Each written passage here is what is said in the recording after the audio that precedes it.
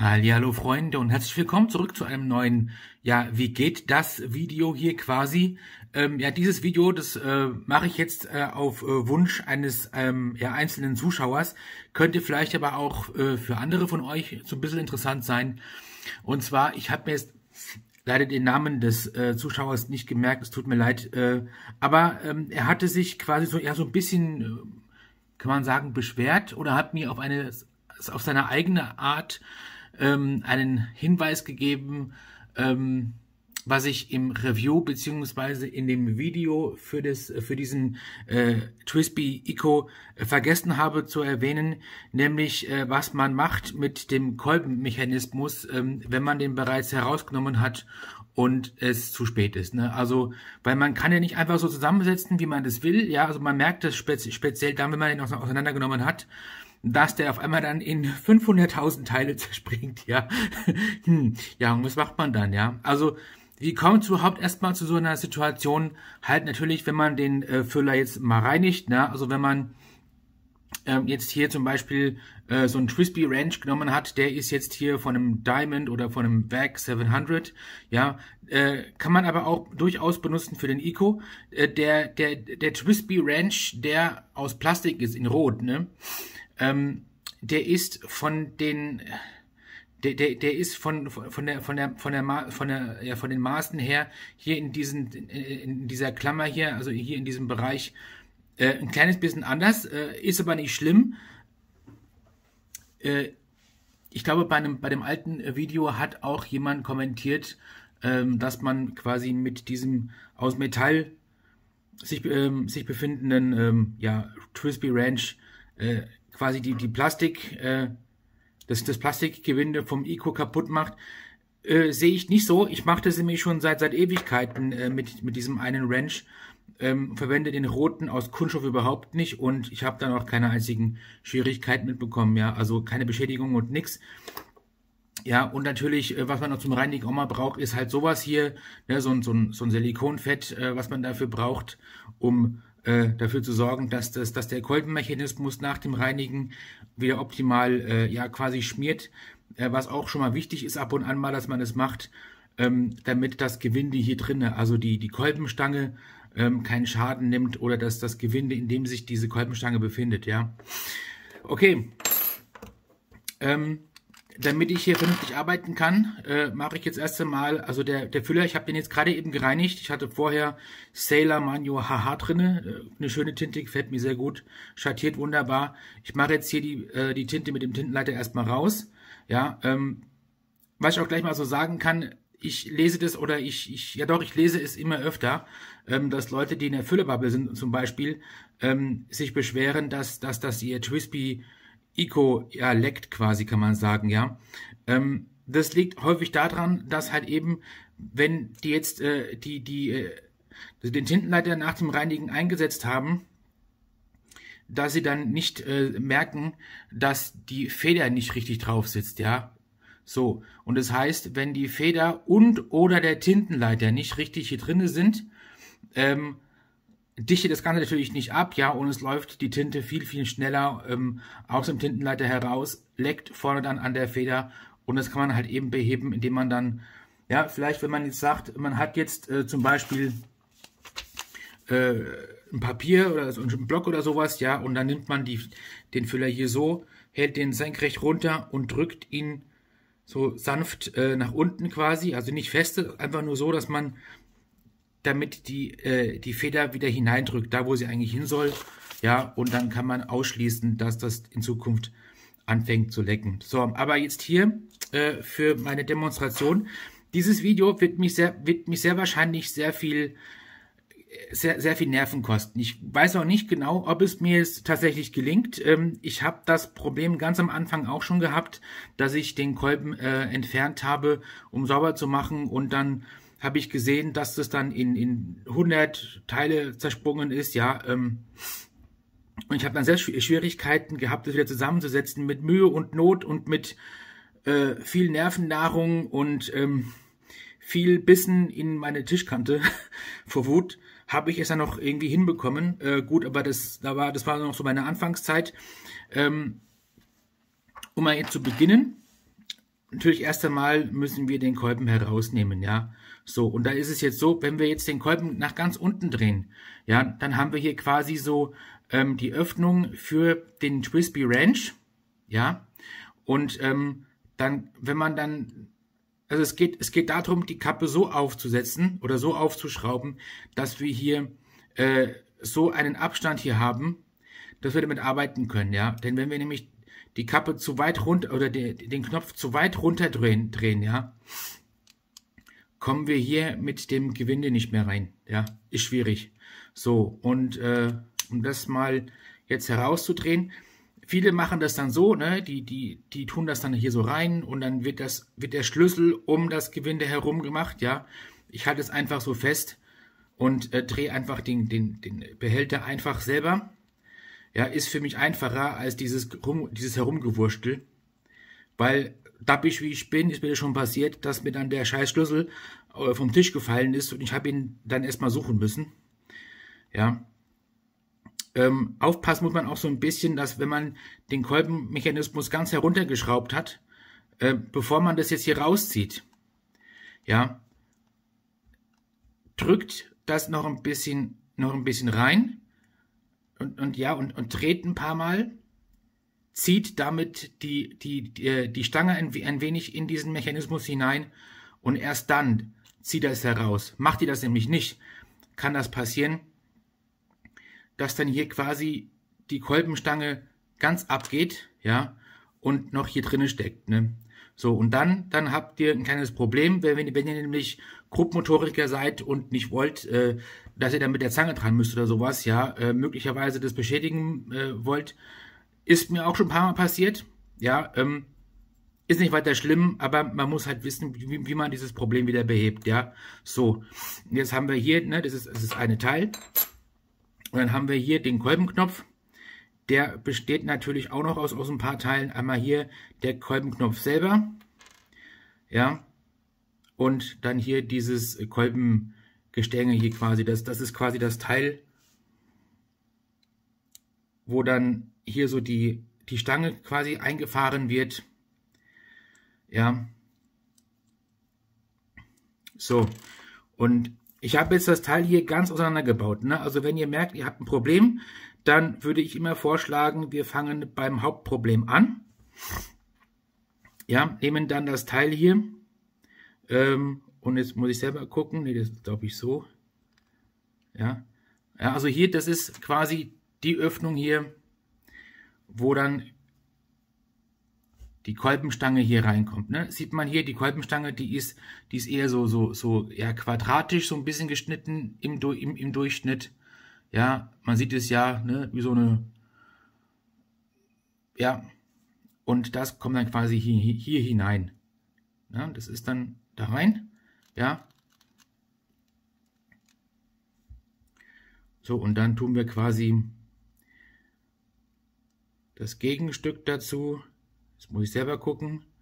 Das ist auf jeden Fall der Bereich, wo der Knopf hier hinkommt. Ne? Also der hier, das bedeutet, wir müssen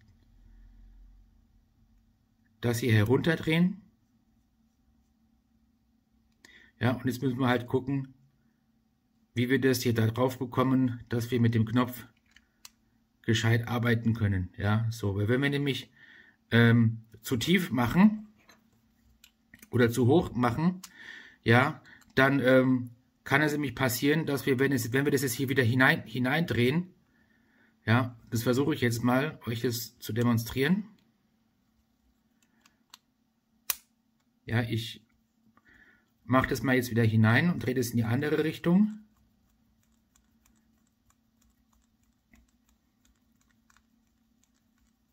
Ja, so. Ich drehe auch nicht zu viel ja, dass wenn wir dann, ne, dann merkt ihr dann ganz schnell, dass das, das funktioniert nicht so richtig. Ne? So, dann haben wir hier nämlich das Problem, dass wir den Kolben, mit, mit dem Kolben ganz hinten sind und hier nicht mehr rauskommen oder beziehungsweise nicht mehr, nicht mehr hier runterkommen, ja, so. Und das Problem, ja, es ist, mal gucken, ob das so funktioniert, wie ich mir das so gedacht habe. Ja, also man kann gucken, wenn, wenn jetzt hier, wenn wir jetzt hier zuschrauben, bis das Gewinde nicht mehr passt. Ja, ich mache mal hier ein bisschen Zoom hinein.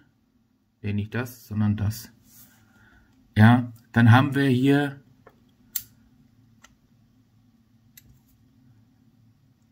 hier sieht man es an der Seite, das sind so die, die Kerben für den, für den Schlüssel. Ja, so und darum, das drehen wir jetzt wieder hier raus.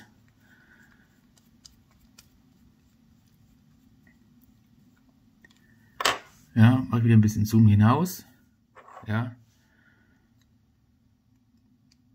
So, und dann mache ich das dann immer so. Ja, also ich halte dann quasi äh, den Mechanismus hier so fest, mache hier den Zeigefinger drauf, damit ich merke, wann der nächste Schritt hier hinten raus ausrastet. Ja, also das, ich versuche das mal so ein bisschen zu demonstrieren. Ja,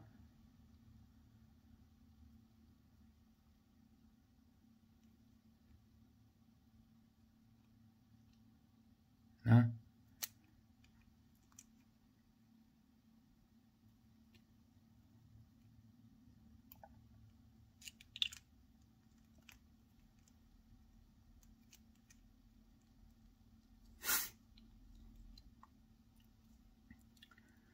Ja, ich habe ja gesagt, ne, das wird jetzt auch für mich jetzt ein bisschen nervenaufreibend werden.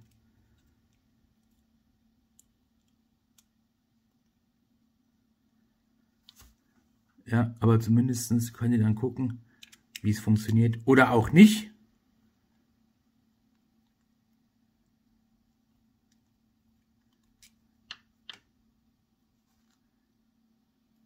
Ja, damit mache ich mal hier den Knopf hier so ganz rein.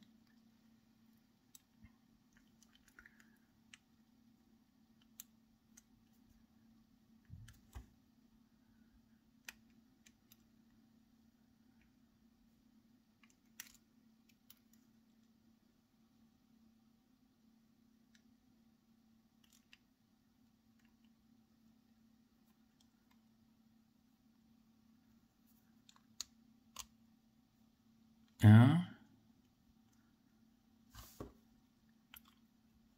Also es ist unwahrscheinlich, ne, dass wir das dann so hineinbekommen, dass, dass wir das Maximum an, an, an äh, Tintenkapazität in dem Behälter herausbekommen. Also sprich, dass dann quasi der, der, der, ähm, der Kolben ganz hoch passt. Ja.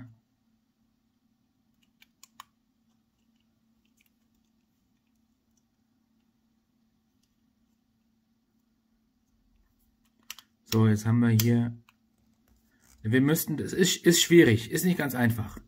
Ja, vielleicht äh, kennen ein paar von euch ein paar einfachere Mittel und Wege, um das in den Griff zu bekommen.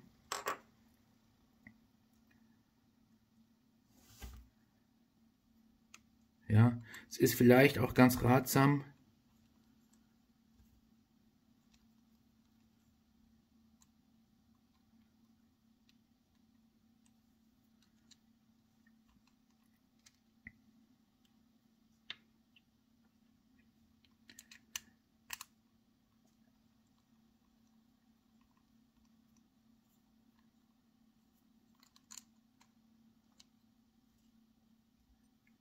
das erstmal hier quasi ranzuschrauben, ne, dass, das, dass das fest ist.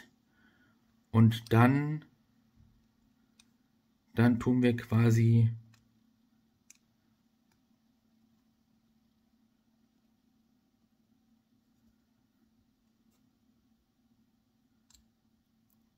wieder ein bisschen, ein kleines bisschen raus, damit wir hier diesen Anschluss bekommen.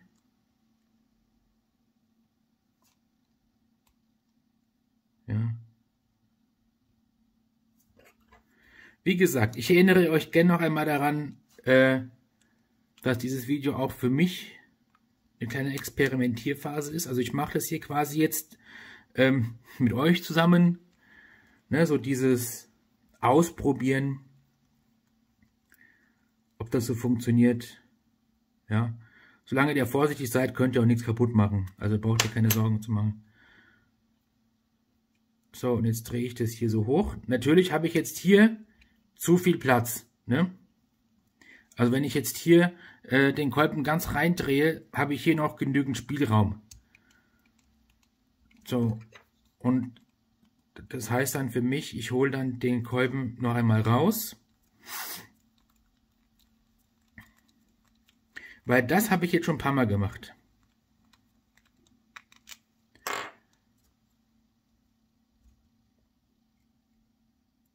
Ja, also quasi hier, hier so dagegen, dagegen drücken, hier unten drehen, bis man dann merkt, klack. Habt ihr das gehört? Ne? Das ist, wenn ich jetzt wieder zu, also, äh, also drehe, ja, ich zeige euch, was ich meine. Wenn ich jetzt den Kolben wieder zurückdrehe in den Behälter, dann ist nämlich dann der Abstand, den ich nach hinten hin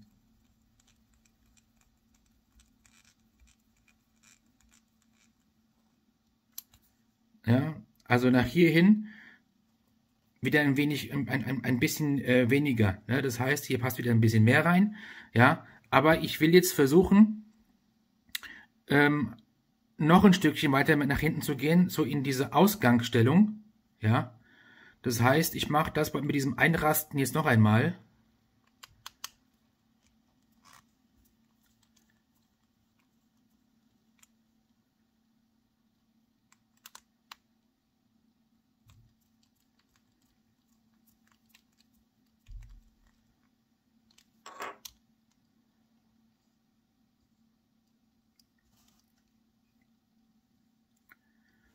Ja, so, und wieder noch einmal warte ich, ne? Also ich drehe dann hier, hier unten, bis das hier oben wieder, ein, wieder, wieder so ähm, einrastet. Ja, das war's schon.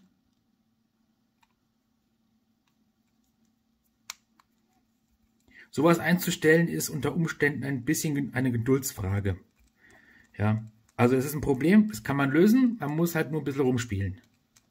Ja, und solange da jetzt nichts überdreht, passiert da auch eigentlich nichts, ja. So. Jetzt gucke ich mal.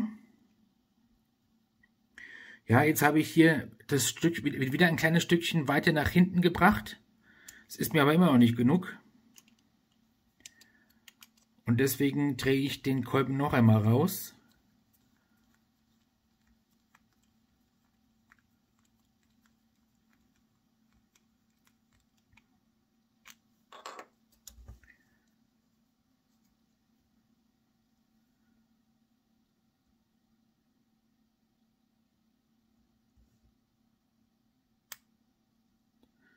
Jetzt hat es wieder gerastet oder eingerastet. Noch ein, noch ein Stückchen weiter rein.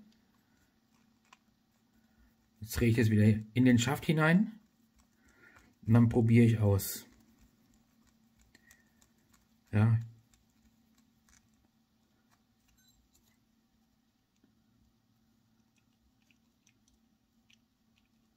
So. Jetzt habe ich hier ein gutes Stück ähm, nach hinten bekommen. Hm. Das heißt also nicht klar, ne? Also je weiter wir hier hinten hineinbekommen, desto mehr Tinten, äh, Tinte können wir hier drinnen speichern. Hm. Jetzt weiß ich nicht, ob ich das noch, noch, noch mehr erweitern kann, sodass dann quasi der, der Kolbenmechanismus sogar ganz hinten ist. Ich will es mal versuchen.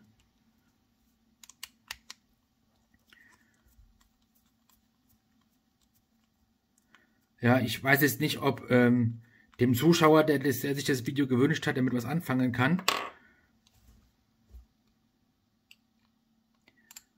Ja. So, nochmal.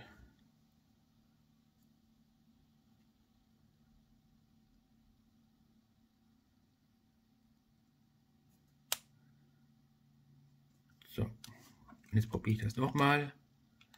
Kann natürlich sein, dass es jetzt, dass ich jetzt so weit hineingedreht habe, den Kolben, ähm, dass ich den Knopf nicht mehr richtig runterkriegt, krieg, ne? Mal gucken. So wie ich das vorher gehabt habe, war mir das eigentlich ganz recht. So, schauen wir mal. Naja. So. Ich denke, weiter geht es wirklich nicht hinein. Ja. Also ich habe jetzt hier quasi ähm, das Maximum an, an Tintenkapazität jetzt hier aus dem, aus dem ICO herausgeholt, was, was geht. Ja. Und habe jetzt hier so viel Platz, dass jetzt hier quasi der Schlüssel hier hineinpasst und ein gutes Spiel hat. Ne? So, bei anderen Videos sieht man, dass die dann äh, den, diesen, also den Kolben entfernen, indem sie dann den Knopf hier zwischen, äh, zwischen diesen Wrench quasi klemmen, ja, und dann äh, das quasi auf die Art und Weise dann halt eben herausnehmen, ja. Also dass dann quasi hier das Teil dann hier quasi fest sitzt.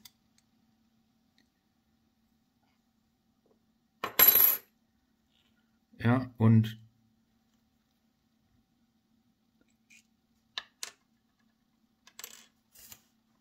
probiere ich jetzt gerne noch einmal aus.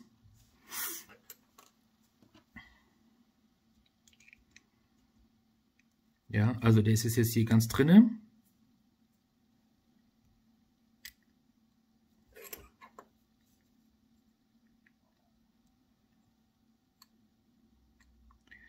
Ja, ich probiere jetzt auch aus.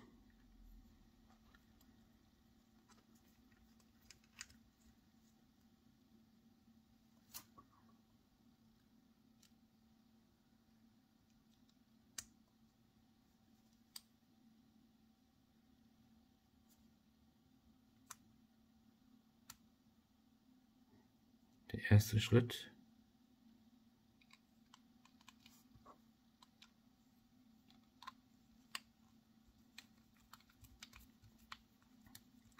Ist ein längeres Video heute. Ist eigentlich immer ein längeres Video.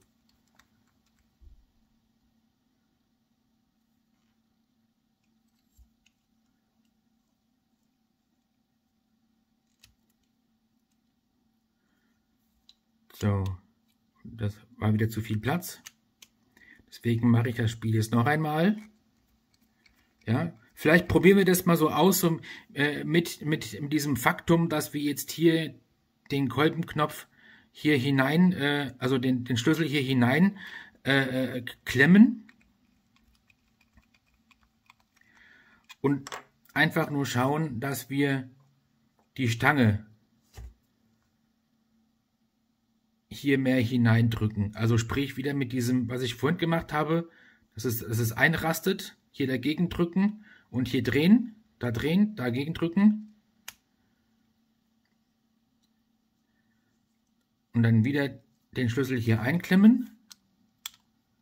Ja, es ist vielleicht äh, für dich, lieber Zuschauer, ähm, eine bessere Hilfe, dich da ähm, auszuprobieren.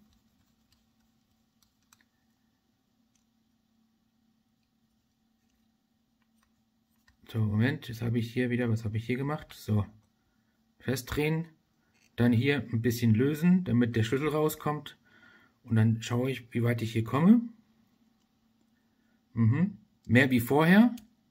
Ich glaube, das ist eine ganz gute Methode. So, und jetzt drehe ich das Ganze hier nochmal. Ja, immer schön vorsichtig drehen, damit ihr hier äh, quasi mit dem, also das könnt ihr hier quasi so machen, so oft wie ihr machen, wie ihr wollt. Solange ihr da vorsichtig seid, macht ihr da nichts kaputt, ja. So, dann löse ich hier den Schlüssel wieder so ein bisschen.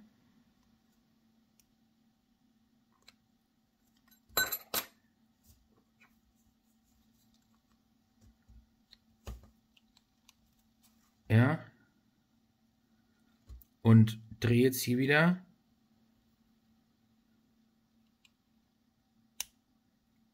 Bis es wieder einrastet.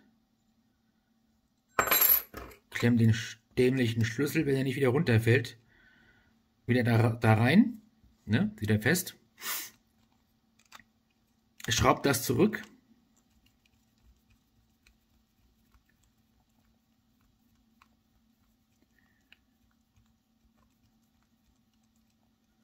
Ja, löse den Knopf wieder so ein bisschen und dann schaue ich, wie weit ich komme dieses Mal. Ja, und so vom, vom Erfahrungswert her haben wir jetzt schon gesehen vorhin, dass dass wir sogar eine Position bekommen können, wo wir das Maximum an Tintenkapazität äh, Kapazität herausholen können.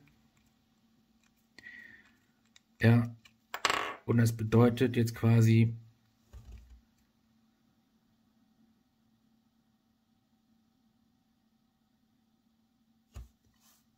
noch ein letztes Mal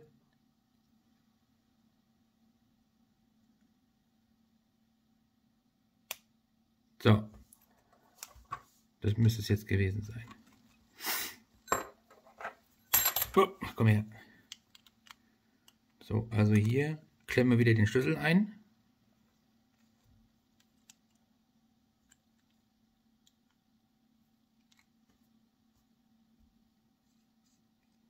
Ja, so, das ist wieder fest. So, und das müsste jetzt quasi so das Ultimatum sein. Das Nonplusultra.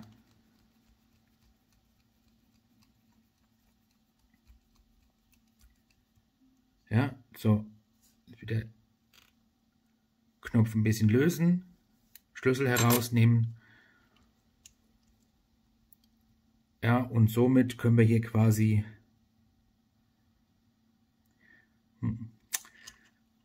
ja, vielleicht geht noch ein Stückchen. So, also noch ein letztes Mal. Alles hat ein Ende, nur der hat zwei.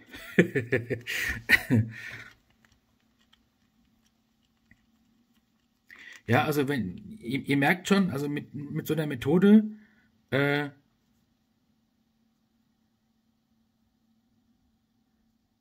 kann man schon was, was, was, was ausrichten.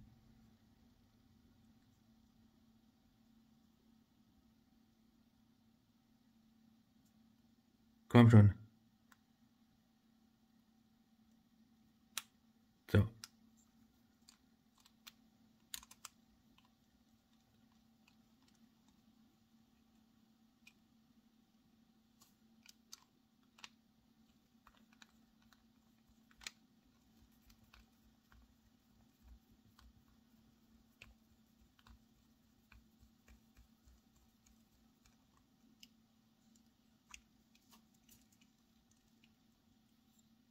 Bam.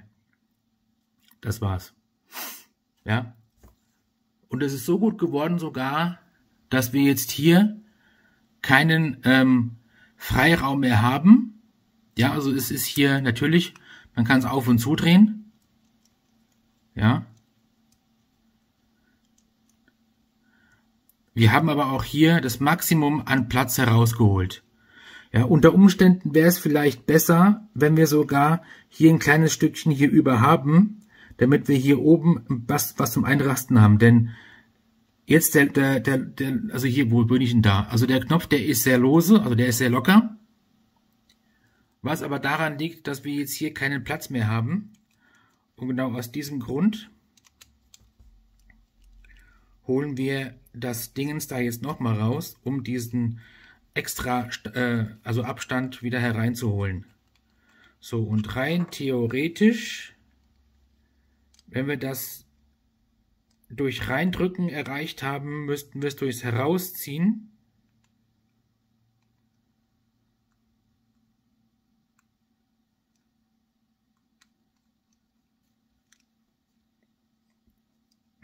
wieder erreichen. So, und jetzt probiere ich das noch einmal. Moment, hier den Schlüssel wieder lösen. Keine Ahnung, was ich jetzt hier mache. Ne? Ich probiere es aus.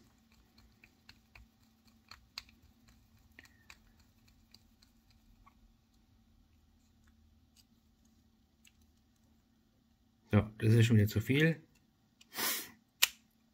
Das heißt, das ganze Spiel nochmal von vorne. Also jetzt wisst ihr jedenfalls, in dieser, in dieser Einraststellung hier mit, dem, mit, dem, mit der Kolbenstange funktioniert nicht. Ja, das heißt also, wir müssten quasi das hier wieder herausholen.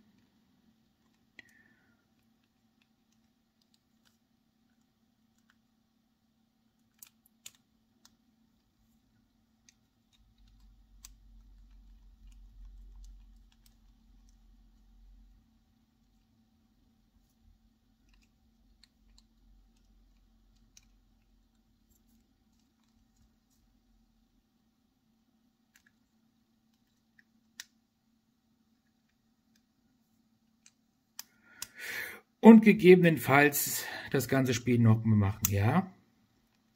Gut. Äh,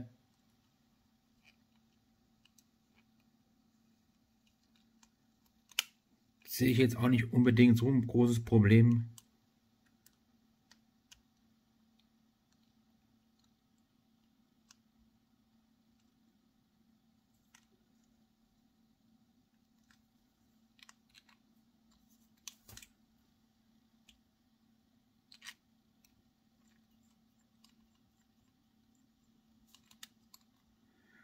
Ist halt Fuddelarbeit. Ja, aber ich sage jetzt mal, hm, unter normalen Umständen würde ich sagen, das macht man einmal. Ja.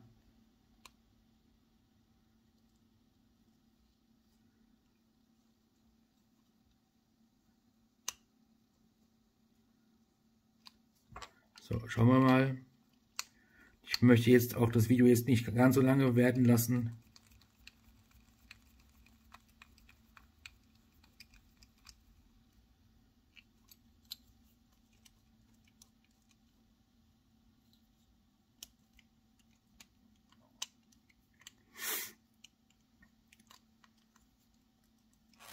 Ihr seht jetzt auf jeden Fall, dass es, wenn, wenn ihr Mist baut, ne, beim, beim Demontieren, dass er da jetzt nicht wirklich Panik schieben müsst oder sowas. Ja, es ist alles Einstellungssache. Klar, unter Umständen braucht man ein bisschen, ein bisschen mehr Zeit. Ja, ähm,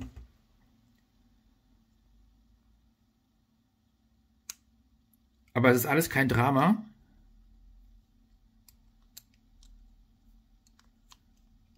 Ja, und diese Twispies, die bieten da echt äh, viel Raum, um auszuprobieren.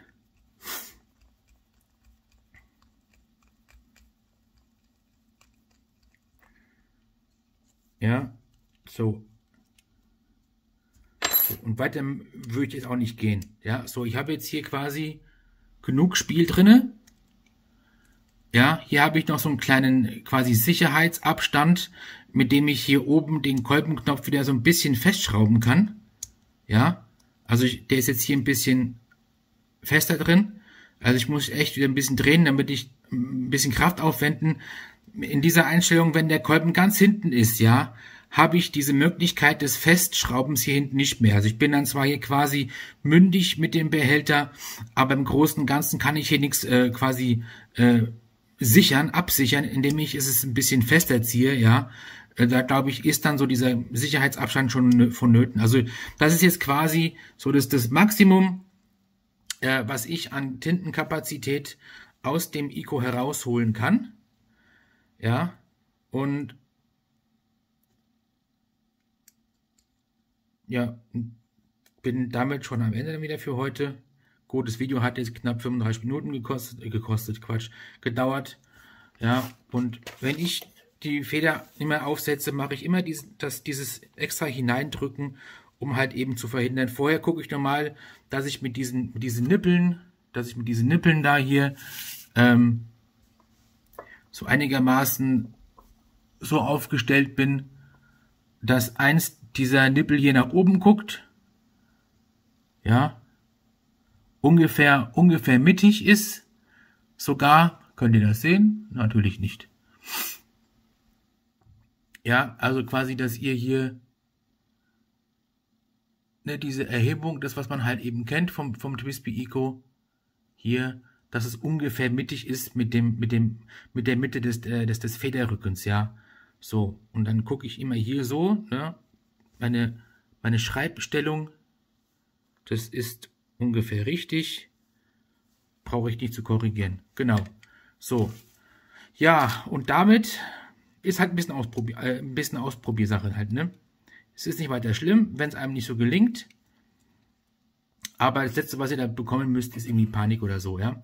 Also, okay. Ja, ähm, lieber Zuschauer ähm, oder auch die anderen, ich hoffe, äh, ich habe helfen können ähm, mit diesem, mit diesem äh, aufschlussreichen, äh, lange dauernden Video. Ja, wie gesagt, es war auch für mich ein bisschen Ausprobiersache, weil ich habe der Fehler, der, der mir passiert ist, das ist vor vor zwei Jahren gewesen. Also quasi äh, ganz am Anfang, als ich den Föhler gekauft hatte, Ähm, beziehungsweise das war nicht bei dem Füller, sondern das war beim Twisby Diamond 580 so gewesen.